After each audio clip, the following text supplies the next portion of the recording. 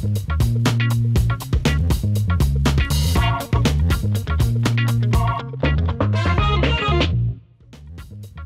raidījumā Vidzemes laukos turpinās labības kulšana. Vasaras kviešu svāc arī skultas pagasta papārškalnos.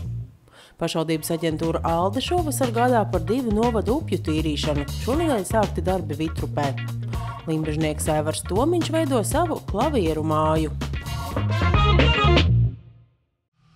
Pirms pieciem gadiem Skultas pagasta paparšu kalnu saimnieku Ilonas un Normunda Leču dēls Kristaps izveidoja pats savu lauksaimniecības uzņēmumu, un nu viņa pārziņā ir visi graudu sējumi. Arī šovasar Kristaps pats sēžas kombainā un kopā ar jaunāko brāli Lauri gādā par ražas novākšanu. Vispirms vāktas auzas, nu kārta vasaras kviešu laukiem. Jaunais zemnieks šo sezonu vērtē kā visnotaļ veiksmīgu. Bija diezgan labi nokulām, augstražīgi bija salīdzinoši. Bija klētas svarā bija pie 5 tonnām. Kvalitāte arī augsta, tilpuma masa bija no 54 līdz 56. Un tā kā pārtiks auzas labas. Nu, tas pēc, kad šis tāds beidzot piemērots gads, jā, ir, lai... lai... Šis būtu normāls gads, šādi varēja būt uh, katrs gads. Neteiksim, ka viņš ir super labs, vai super slikts, viņš tāds viduvējs, viņš tādiem vajadzētu būt visu laiku apmēram. Jā. Jā, nu un tad ik pa laikam kāds īpaši labais, vai ne? Jā, piemēram, šogad uh, siltums pietrūka jūlijā. Svarīgi graudiem svarīgs mēnesis, kad uh, varēja būt siltāks. Bet, nu, kā bija, tā, tā bija. Nu, kā kvieši tagad? Kvieši, kvieši arī neslikti. Domājām, ka būs varbūt mazliet sliktāk, jo salīdzinoši sausā laikā sējām, Un, bet uh, ir uh, arī vedam tagad nodot analīzēs, arī uzrādās otrā partijas grupa.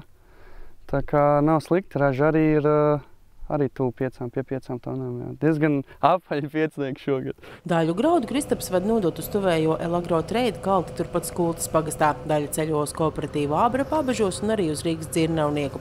Kristaps spriež tā, kā raža šogad laba nopelnīto varēs ieguldīt attīstībā. Būtu vajadzība pēc vairākām jaunām tehnikas vienībām, pēc jaudīgākiem traktoriem un sēmašīnas, un nu cerība, ka kaut ko no tā arī izdosies iegādāties. Šobrīd Paparškalna apsaimnieko 250 hektārus. Visa gan nav tikai graudu sējumi, ir arī zālāja, kur vāc lobarību aitām un gaļas lielopiem.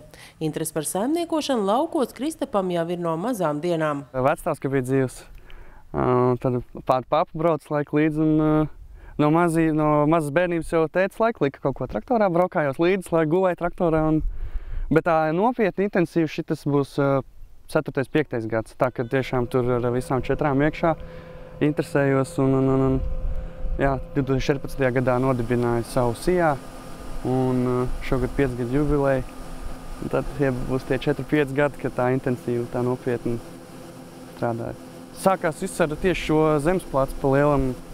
Bija uh, saimnieks pārdeva zemi. Sanāk mammai tur uh, mammas saimniecībai kredītu un kaut kā altums tā kā nepiešķīra. Un tad izveidojām jaunu saimniecību un šitai iedeva. Un, un, un šis ir viss sākums. Šis ir spleķis Sijā papaškalniem. Jā. Tad uh, pagājušajā gadā nopirkām otru pusi. Un pausī nopirkām vēl tur tālāk. Bet vispār ir ko nopirkt vēl, tā jau arī? Vēl ir, iet uz beigām, bet ir ko pirkt, ir ko pirkt. Nomāt nav, bet ir ko pirkt. Pavasarī Kristaps apsolvē lauksaimniecības universitāti iegūstot agronomu ar specializāciju laukopībā izglītību.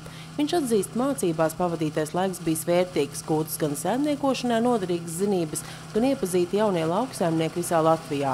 Tepat uz vietas skultas pagastā gan reti kurš jaunietis izvēloties palikt strādāt laukos. Zemnieki, piemēram, ar ko būtu, ar ko padraudzēties šeit īsti jauni nav.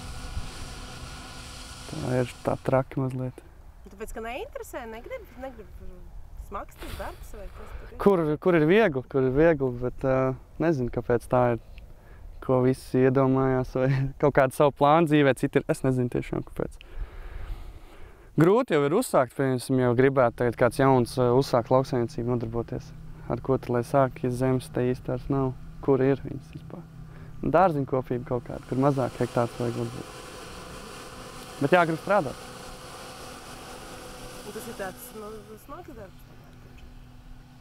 Nosacīt, jā, nosacīt nē, kas kuram liekas smags. Un, uh, bet doši vien, kad smags ir liela atbildība lauksaimniecībā jāizvērtē daudz aspektu, daudz ar ko riskē. Katram jau ir sava izvēle. Vieglāk jau ir strādāt pie kāda cita, neuztraukties, kas notiks ar, ar to mantu. Cilvēka attieksme tāda vienkārši. var būt. Vai nu tas, ka nevar prognozēt neko, vai ne? Tu nevar zināt. Nevar prognozēt. Nē, tieši tāpēc arī investē visu, kas ir un uh, gaida rudeni. Redzēs, kā būs.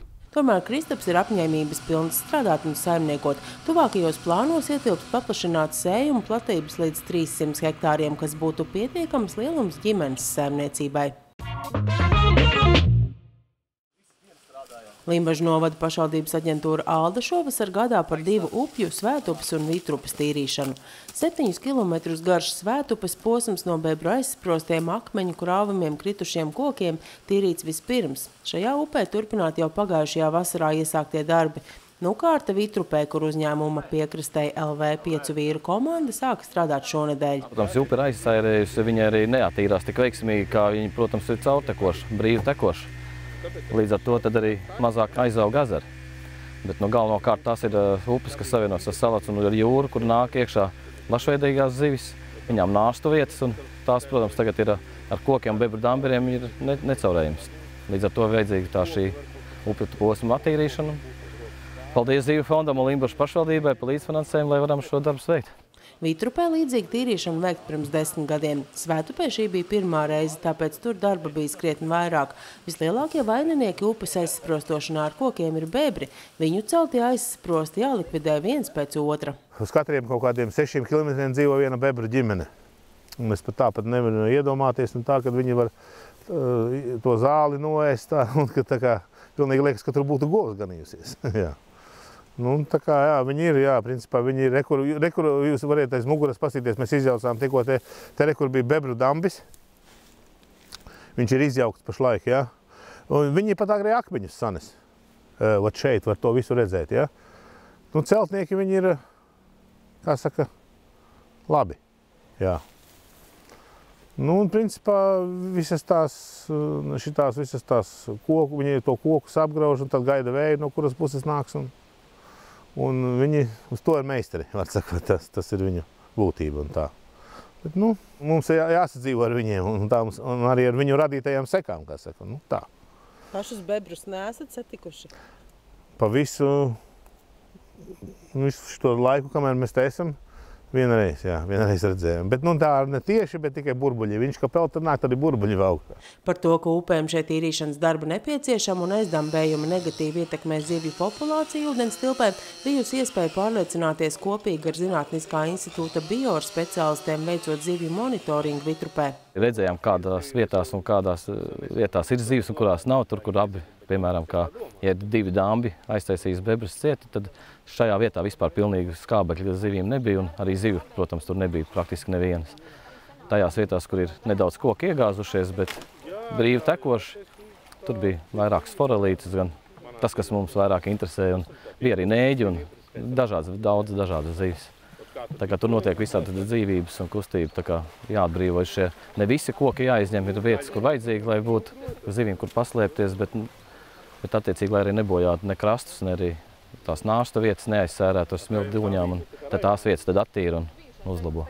Nu, galvenais, lai ir tā straumi. Lai galvenais, lai straumītu, lai būtu, jā, jā, lai būtu kustība. Un, Tad šeit nāk arī makšķernieki. uz nu, nāk jau uz forelēm, ja tā kā jau, tad jau bija dzirdējis, ka nāk tā vieta, ka viņu padzirdēja, ka mēs te tīram šās vietas, tad viņi arī, zināt, teica, ka tās ir viens no tādām, nu, diezgan labām vietām, kur ir var iespēja noķert to foreli. Vakar pat mēs izvilkām vienu tādu koka stumbru, uz kura bija virsū tādi nelieli pieci neģīši. Nu, mēs viņus, protams, ielaidām atpakaļ un tā, bet, nu, tā kā, tā kā nu, ir te zivis, tā nevar teikt, ka te zivi nav, un ka, ka tas darbs, es varu teikt, pa vēl te darīs. Darbu veicēji baļķu izcelšanā izmanto speciālu vinču. Šis agregāts esot neaizvietojams palīgs, jo tā celtspēja ir vairāk nekā divas tonnas. Turpat izceltos kokus arī sazāģē. Izvilktie koki tiek sazāģēti pa 1,50 m tādos garumos, un, un te, principā, arī viņi paliek te pāri krastā, jūs varat redzēt, arī, kur arī stāv, teiksim, ja? Tas ir domāts tāpēc, ja, teiksim, pavasaros plūdi lieli, tad, ja būs koks visā garumā, tad viņš var aizķerties, nu, kaut kur upē un radīt atkal jaunus aiznes sanesumus, bet, bet šitādā veidā viņš aizies uz jūru. Lai šovasar paveiktais dotu labumu ilgtermiņā, iztīrītie upju posmi šādā kārtībā būtu jāuztur arī turpmāk. Tāpat, lai pārliecinātos, ka tīrīšana devus cerēto rezultātu zivju resursu saglabāšanai, speciālisti nākamajos gados veiks zivju monitoringu.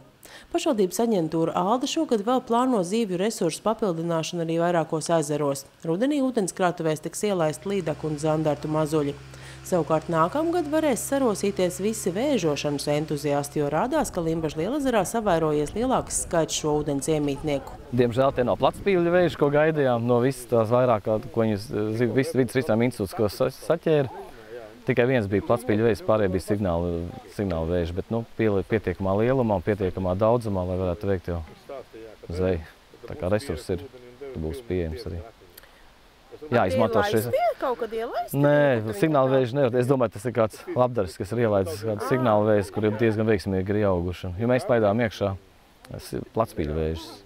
Tie, tie, nu, nu, tie ir viens, bet nu, vis, visticamāk, ka signāla vēži ir spēcīgāk un izturīgāk pret slimībām, tie, tie būs arī pārņēmuši bet aktīvas atpūtas cienītājus aģentūra, sadarbojoties ar Limbažu turisma informācijas centru, drīzumā aicina doties pārgājienā apkārt Limbažu lielazaram. Tas notiks Eiropas mobilitātes nedēļā 21. septembrī.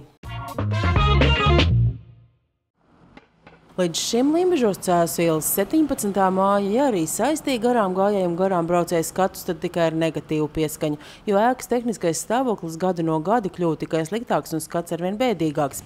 Tomēr no ēka tikus pie gādīga saimnieka un šeit top klavieru darbnīca, ko rada klavieru meistars Aivars Tomiņš. Laikam jau pilsēta viņa gandrīz tā kā bija domāts jaukt nost, bet tā kā es jau kaut kādu, nu jau būs, nu desmit gadi laikam noteikti, kopš meklēju kaut kādas telpas īsti jau nav ko atrast. Man otrais, trešais stāvs neder. Un, nu, nekas neatlika. Kaut ko vienā pirmā stāvā kaut ko atradu un sākumā tā kā īrēja. Un tad es no, nu, no pilsēta arī teicu, ka tā, tā kā ilgtermiņā neīrēs. Gribu pēc, negribu pēc. Nu, Drusciņā uzstījos, kas no viņas vēl tur ir pāri palicis. Un izdomāju, ka jāņem vien ir.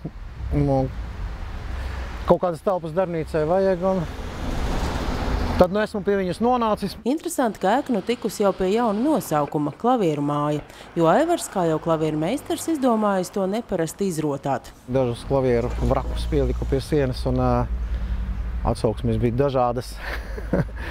Tagad ar vienām jau tur ir noņemts vāks apakšā nost, lai redz, ka nu, gluži klavieris tas vairs nav, tas ir tikai palicis vairs korpus. Tā teikt, izrādīts vēl pēdējais gods dažām. Cilvēki, citas, nonāk, citas nonāk pat taisno malkā. Satraucās, jā, cilvēki, Nu jā, nu, viens saka, ka zaimošana, otrs saka, ka visu māju tādu vajadzēja. nu, viedokļi dažādi. Bet, nu jā, nu, īstenībā pašlaik vēl pārāk smuks nekas nav, bet tikko nesen te vairākas reizes jau esmu dzirdējis cilvēki uz ielas sarunājas un, vai pa telefonu saka viens otram, kur atrodas. Un vairs nesaka, ka pie barakas centrā, bet saka pie klavieru mājas. Nu, varbūt nosaukumu jau ar jaunu būs iegūsi. Aivars stāsta, ka šī vasara visi būs aizritējusi pašam darbojoties ap māju, līdz ar to iekavējušies daudz citi ar klavieru skaņošanu un atjaunošanu saistītie darbi.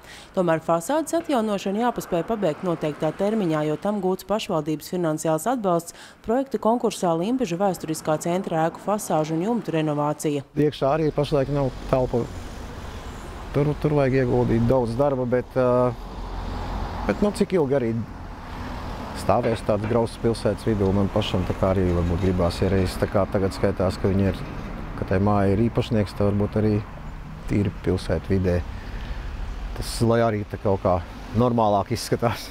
Bet, nu, teicāt, skatījāties, kas tur vēl ir palicis pāri, tad nu, kaut kas tā kā vēl bija palicis, jā, galīgi vēl nojaucam. Nu, jā, nu, viņa bija tā kā dzīvokļu māja, nu, nu, nu. Nu, es nezinu, es sākumā durvis nevarēju lāgi atvērt visas tās tūlītes, viss, kas tas smirdēja, tā kā traks. Un, uh, nu, faktiski nu, vienkārši aizlaista bija. Nu, tā, kad es sāku pastīties tīri konstruktīvi, tad uh, tepat jau arī šie baļķi ir tādi, ka tur uh, naglu iedzīt nevar. Īstenībā izrādās, ka uh, viņa ir būvēta tā kā laikam pat pārvesta uz šīri, no vispār arī vēl kaut kādiem veciem kokiem, droši vien pareizā laikā zāģētiem un tā tālāk. Nu, tur, kur bija tās tūletes un tam līdzīgi, nu, tur bija kaut kāds pa kādam stūrim nopūdēts, bet uh, tas pārējais ir, pārējais ir tāds, ka es nomāju stāvēs ilgāk par tām pelēkajām bloku mājām. Ā, pati tā konstrukcija, ja tāda pamatīga. Nu, ne, nu, jā, nu tieši tie koki. Nu, konstrukcija īstenībā nu, nav pārāk laba. Viņi ir sākotnēji, es tagad tā, tā, tīri tā vēsturiski mēģinu daudz neko materiālus, nekādus nekur pagaidām atrast nevar, bet, bet tīri skatoties, kā viņi ir būvēti, tad izskatās, ka sākotnēji viņi ir bijis vienstāvīga ēka un, un vienkārši otrā stāvā tās izbūvītas ir uzliktas nekurienē. Nav nekur pret nesošām sienām. Nu, tas, ir, tas ir tas, kas varbūt arī to, to tīri konstruktīvi to māju pabojājis. Bet nu, paši koki, forši, nu, te jau gan jau, gan jau iznāks kaut ko uztaisīšu. Te jau augšā uh, šis mazais gabaliņš tā kā būs jau, jau gatavāks. Tā kā apmēram var nojaust, kas, pēc ko viņi izskatīsies. Nu, nebūs tikai klavierēm, nu, pēc tam skatīšos. Nu, būs varbūt vispār mākslinieciska māja arī citiem nolūkiem. Kādai muzikai, muzikālām izdarībām, varbūt arī kādām citām. Jo nu, telpas ir diezgan, diezgan palielas. Kopš pagājušā gadsimta vidus šī bijusi kantora ēka, pirmajā stāvā atradušās arī darbnīcas. Aivars stāsta uzgājis arī kabeļus, kas acīm redzot bijuši pievilkti pie darba galdiem. Tiesa pagaidām izdevies iegūt visai maz materiālu par mājas vēsturi. Šis rajons jau faktiski viss iznāk, es saprotu, ir radies pēc šīs mājas. Šī ir bijusi laikam tāda viena no pirmajām mājām šajā vietā, plikā pļavā. Nu, šeit apkārt tie tās visas daudz stāv mājas. Tas jau ir redzams, ka tās ir jaunākas. Un, nu, nu, tad te tika uz pilsētas puses sākas uh, vecā apbūve. Nu, tas šeit iznāk, ka šī ir bijusi viena no pirmajām mājām, jau tā kā ārpus kā tām vecajām koku mājām. Tu mazliet arī to vēsturi esat paskatījies, ja? Nu, es saku, ka īstenībā pārāk daudz neko nevar paskatīties. Ir, ir, ir daži cilvēki, kas, kas, kas man mēģinājuši nākuši garām kaut ko ieraugt, pastāstīt, kad paši jau kaut kādos laikos bērni būdami kaut ko atcerās, kas te ir bijis. Un, vai pašiem vecāki te strādājuši un, un, un ir darbojušies, kā bērni skraidījuši pa to māju, no konkrēti, tad, kad zāle ir bijusi. Nu, pēdējos laikos jau um, viņa bija uztaisīta. Faktiski nekas tur beigas arī nav no tādām skaidru platēm sataisītas. Uh, starpsienas uztaisīti dzīvoklīši tādi maziņi un, un, un Un tad, nu, tad viņi laikam ir pamazām aizgājis tādā bēdīgākā stāvoklī. Klavieru skaņošanai un restaurācijai Aivars Tomiņš pievērsies pirms gadiem desmit laikā, kad bija Cēs mūzikas vidusskolas direktors. Skatoties, kā skolā strādā pieaicinātais klavieru skaņotājs, radusies interesi par šo darbu. Pagaidām, kamēr klavieru māja tikai top, mūzikas instrumenti, pie kā jāstrādā novietoti vairākās vietās. Ar laiku visus plānots pārvest uz šejieni. Pats īsti skaitu nezinu, cik pašlaik ir. Bet stāv tādas, kas, no, kas kādreiz varbūt ir vēl restaurējamas un, un kādam varbūt noderēs. Nu, situ, pašlaik jau gan tā situācija tāda, ka klavieris ir lētākais instruments nu, no mūzikas instrumentiem. Paveltis, paveltis sviež pakaļ. Jā, kāpēc? Nē, no Latvijā varbūt tā situācija tāda laba bija, tāpēc, ka bija rūpnīca. Un, un, un, un vajadzēja vai nevajadzēja, es domāju, lielai daļai. Tāpat kā visiem bija tur vienas lustras, vienas sekcijas, uh, nu, klavieres, tad Rīga arī jānoliek un tā tālāk. Pat dzīvoklī vai ne? Vienādi dzīvokļi un, un vienāds aprīkojums. Bet uh, es domāju, ka nu, lielā daļā jau tā arī bija. Un, uh, vai arī daudzi tie, kas teiksim, bērni izmācījušies un tiešām vairāk mūžā ar muziku nenodarbojas, nespēlē, nu, nu, vienkārši atdot, ka tikai kāds izvestu tājās. Nu, tā, tā kā tādas lielas vērtības ir pirkšanas ziņā pašlaik klavieriem nav. Tas, ka cits jautājums, kādas viņa, kādā, kādā viņas stāvoklī un cik daudz tur jāiegulda kuram, jā, lai, lai dabūtu normāli. Tad šis, piemēram, uz jautājuma, vai jaukt ārā vai, vai, vai, vai, vai, vai restaurēt, jo tā ir pirmā Rīga. Nu, es gan vairākas viņas esmu jau uztaisījis. Pašas pirmās Rīgas, kas pēc kara parādījās, viņas pārāk daudz nebija uzražotas. Nu, arī tīri tā vēstures ziņā, nu, gribās, protams, varbūt arī tādu tomēr savest kārtībā, kaut gan, nu, tur darba daudz. Viņš ir tāds. Bet skaņas ziņā viņam nav nevainas šīm vecajām Rīgām. Nu, nu, protams, šie vecie vācieši tie jau gan, gan vizuāli, gan uh, skaņas ziņā, nu, nu viņas ir foršas klavieres. Nu, skan? Jā. Tagad nes, neskan. Šis, šis skan, skan. Tā, kas viņam moderators nolaists? Nu, labāk būtu jāapstāsta, kas moderators nestrādā. Bet, nu, principā, viņa, uz viņām pat arī šodien var uzspēlēt, bet nu jāremontē. Nākotnē te ir domāta tā kā krāsotavu taisīt. eh, Tas man ir tas, ko es pašlaik pats nedaru. To es vedu uz cēsīm joprojām. Nu, Es cēsīs arī sākumā biju, man bija cēsīs arī telpas sākumā, tur darbojos. Un, uh, bet nu, krāsošana man notiek joprojām cēsīs, bet tā kā te ir tā kā potenciāli domāts pašam uz, uztaisīt. Un, un, nu, jā, kaut kādi pāris flīģeļi kopā ar būvmateriāliem. nu, viss tagad ir tiešām tā bišķiņ krustām šķērsām. Šitas te vēl, vēl varbūt nav baigi unikāls, bet drīz būs unikāls. Tas ir Latvija flīģelis, kas pat dzimšanai tā kā nebija nekas baigi izcils pat pēc padomju standartiem. Beigās bija pateikuši, nē, tādus nevar ražot. nu, varbūt arī tāpēc, lai netaisītu uh, konkurenci krasnieka ķebri. Nu, Estonija padomju savienībā bija labākais flīģelis, nu, vēl bija krasnieka ķebri, nu, nu, tāds ikdienas flīģelis. Nu, Lat, Rī- Rīgā arī mēģināja uztaisīt. Viņu daudz nebija. Viņas, es, es nezinu konkrēti, cik viņi ir saražoti, bet daudz viņu nav. Nu, stāv man arī viens, bet tas jau ir tā kā arī tas smuks attaisīts, nokrāsots. Es. Lai stāv varbūt vēsturē, vēsturē arī tāda lieta. Nu, vispār Lat, nu, es jau tieši tās Latvijā ražotās klavieres mēģinu, tomēr tā dabūt pie dzīvības, varbūt arī dažas, dažas diezgan bēdīgas. Vien, vien, vien, vienu taisīju arī tikai vienu eksemplāru arī es redzēju. Izrādās, Siguldā bija ražots tāds kundziņš. Viņi diezgan bēdīgas bija ķirmju apēstas, bet tomēr mēģināja taisīt. Un, un, un, un vairākas arī nevienu tādu neesmu redzējis. Bet principā Latvijā ir ražotas daudz un labas klavieres. Pieņemsim tas pats Kļaviņš, man te vairāk arī šeit kaut kur arī viens bija, un nu, tā noliktavās kaut kādi vairāk pašlaik stāv. Kļaviņš, knēcis, nu tās ir, var teikt, nu, pat labākas, nu, es neteikšu, ka labākas, bet nu, paņem jebkuru vācu klavieru, kas ir tā laika, uh, un skaitās kaut kāds pat pazīstams brands un tā tālāk. Nu, ar ko viņi neatpaliek? Tādas pašas kvalitātes, ja ne labākas, un dažs instruments, nu, vienkārši burvīgi instrumenti, ir taisīti kādreiz Latvijas laikā. Tā kā es viņus, nu, arī, ja kāds tā pagadās, nu, tas vienalga, nu, ir, ir cilvēki pasūta taisīt, bet uh, ir tādi, kas man pašam tā kā ir paņemtas, nu, kaut kā nauda ieguldīta, bet nu, es tā uz to it kā beigi neskatos, nu, lai viņas vai nu stāv pagaidām, vai kad var sataisīt ar taisu, nu, tomēr to Latviju. To Latvijas vēsturi varbūt kaut kādā veidā tomēr mēģināt arī to klavieru vēsturi kaut kur saglabāt kaut cik. Pianists gan Aivars nav, viņš spēlē saksofonu, mēdz uzspēlēt arī ballītais, tāpat ir Krimuldas vīru kora vecie draugi diriģents. Man visi darbi dzīvē tā viens otru secīgi ir nomainījuši, tāpēc, ka es visu mūžu daru to, kas man patīk. Nu, ja man kāds darbs, nu es tagad nerunāju par to, ka nepatīk, bet uh, rutīna, nevis rutīna, ne, rutīna nav nevainas, rutīna ir laba tādā ziņā, ka uh, darba ražīgums pavisam cits, vai neiet daudz ātrāk viss. Bet, uh, bet nu, ja piezogas tāda sajūta, ka jāiet uz darbu, nu, tad es sāku domāt, ka tas vairs nav īsti. Tāpēc, nu, kad, nu, kad, teiksim, tas īsti nepatīk vairs vai, vai kaut kā, bet, nu, jā, bet jāiet uz darbu. Nē, es nes, neesmu pārāk daudz mūžā ar tādu sajūtu strādājis. Un tad, tad var teikt, ka es tā pa lielam vispār mūžā neesmu strādājis.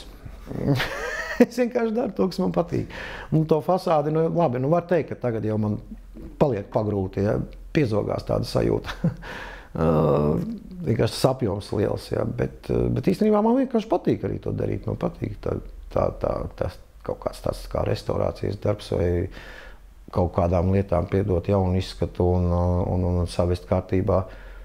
Tā, kad, kamēr, tas, kamēr tas patīk, to jau nevar nosaukt par darbu. Nu, tu, tu, tu to dari prieka pēc. Un tas pats ar tām klavierēm. Nu, vai balītes, es arī joprojām spēlēju. Nepārāk daudz, tieši tāpēc, lai tas nepārvērstos par tādu darba sajūtu, tikai tik, cik pašam arī patīk, un tā, ka to var realizēt un to darīt ar prieku. Nu, un tāpat ar visiem citiem darbiem.